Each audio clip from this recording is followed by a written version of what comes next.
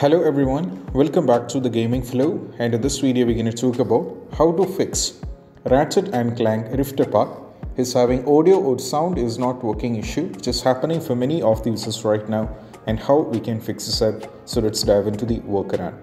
The first one is all about when you're having this issue we can all try with running the audio troubleshoot. For this we just need to go over here in the search, go for settings now from here we have to go to system, keep scrolling down and navigate to troubleshoot.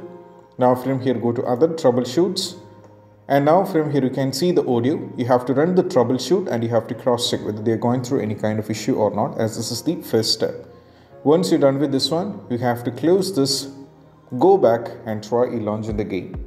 Next one is nothing but you have to restart the game couple of times, which means you have to restart the game, restart the PC, even I'm saying you have to restart the Steam as well. For restarting the game, you have to exit from the game. For restarting the Steam, closing over here is not going to work for you.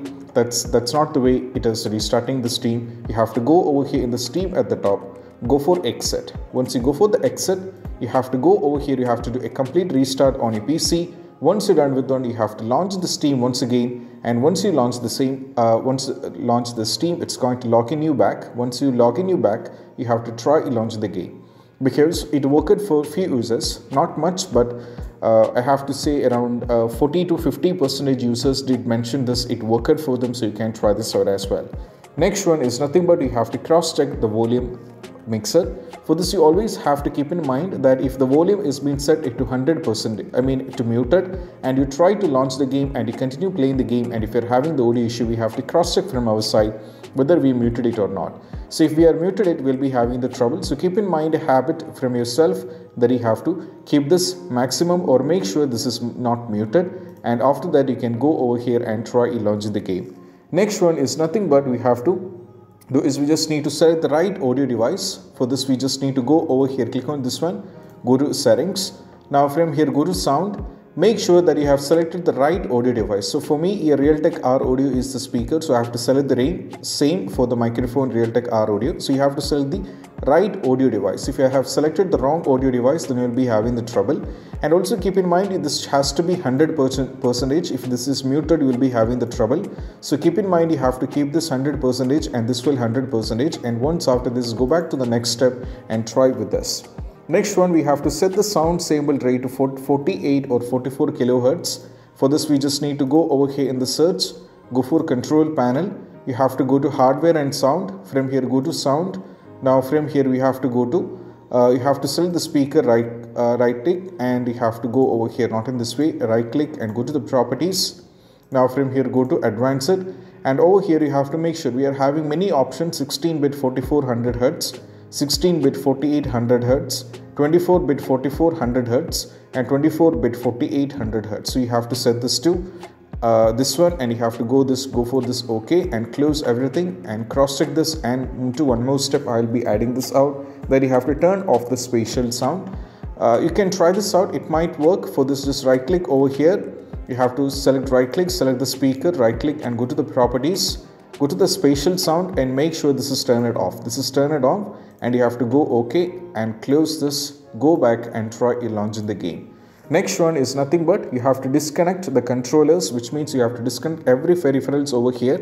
And keep in mind once you disconnect everything launch the game once game is launched successfully and you're proceeding with the game and you can connect it back and try launch the game. And it worked for many users so you can try this out because I don't know how these are related but this did work for many users. That's why I'm recommending. For me personally it worked for the games like you know uh, Back 4 Blood and even for uh, Spider-Man Morales which I used to play all the time. So it worked for me in all these games so you can try this out as well. Next one is nothing but we have to disable the Oculus voice meter. For this just go over here in the search go for settings as well. Go to the uh, sorry not over here. Just go over here. Go to the control panel. Go to the uh, hardware and sound. Select the sound from here. Now from here if you find the oculus over here you have to disable it. For disabling select the oculus. Go for disable option and you have to disable it. Once you disable it you have to go ahead and see whether the issue is solved or not. Still it's not working. We have to go to the install it audio driver. That means you have to update the driver For this, we just need to go over here in the start, right click, and we have to go over here in the device manager. Now from here, we have to go over here. Uh, you have to find over here the audio. You'll be able to find the audio.